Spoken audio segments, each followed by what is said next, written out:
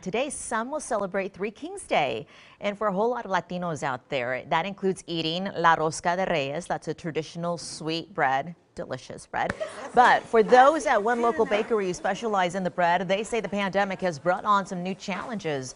The owner of Mi Tradicion Bakery says that he faces a rise in cost of goods and a lack of employees. This year, he did not take the pre-orders for the rosca like he usually does before and um, paused pan dulce baking until after today's celebration in hopes of being able to meet the demand. No tengo suficiente mano de We just don't have the manpower to take any orders online. We're just making a lot of roscas and hope for the best. And hopefully our customers can understand our struggle, though a lot of businesses are facing the same problem.